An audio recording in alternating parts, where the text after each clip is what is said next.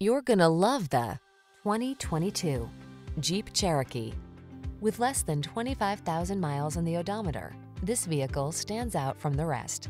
The Cherokee has your back on all your adventures. Its generous cargo capacity, safety technology, off-road capability, and passenger-friendly interior infuse each journey with confidence.